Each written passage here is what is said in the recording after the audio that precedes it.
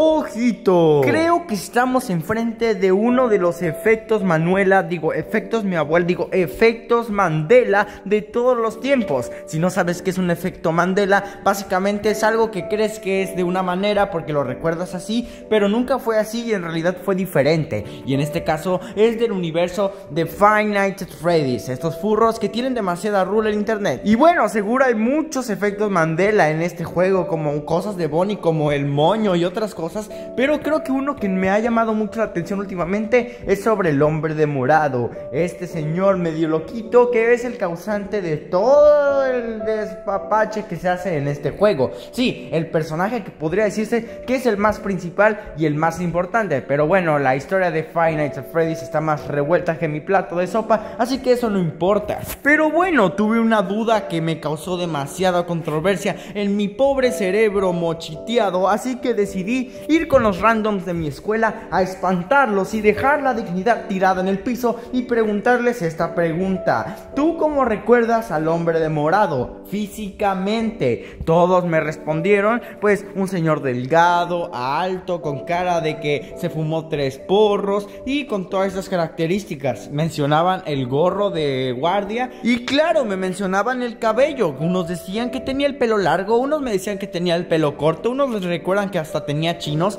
pero nadie me dijo otra cosa que no sea pelo largo o pelo corto. Y yo me quedé como, el hombre de morado no tiene pelo. ¿Qué?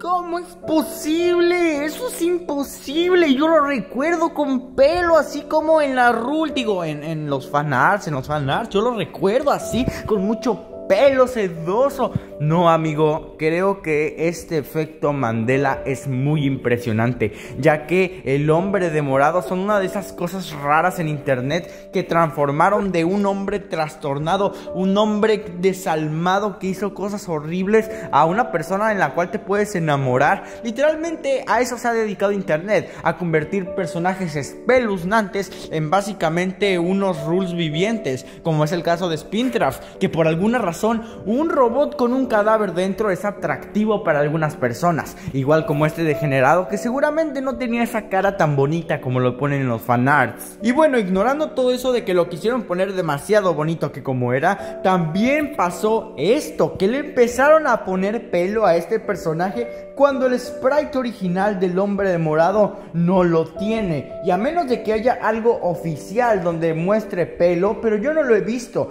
Yo en todos los sprites que conozco del hombre de morado sale pelón. Y sé que esos sprites no son, como decirlo, muy detallados. Pero literalmente si tuviera pelo tendría, no sé, otros píxeles extras de cabello. Me puedo estar equivocando aquí, pero siento que concuerda más que este era un tipo pelón. O sea, un hombre de morado queda bien que fuera pelón. Tendría sentido que fuera un pelonete cabeza de cohete este señor. Pero ¿Tendrá pelo? ¿No tendrá pelo? Los fans le pusieron el pelo. Yo creo que aquí tenemos dos opciones. O yo estoy todo paranoico y en realidad sí tiene pelo y ese es solo un sprite. O en realidad es un pelonete cabeza de cohete y los fans decidieron que iba a tener pelo porque claro, un señor pelón no es tan atractivo como uno quisiera, ¿verdad? Pero pues bueno, al final Final Fantasy Freddy supuestamente es un juego de terror y termina siendo el juego más infantil de todo el mundo y no, necesaria, no necesariamente necesariamente por culpa del mismo creador.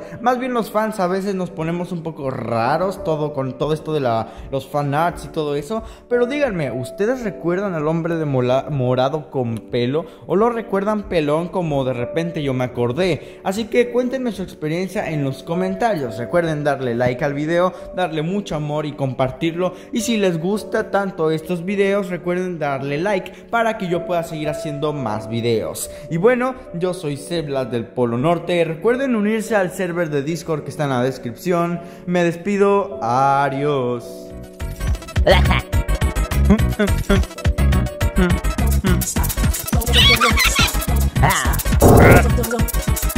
Adiós.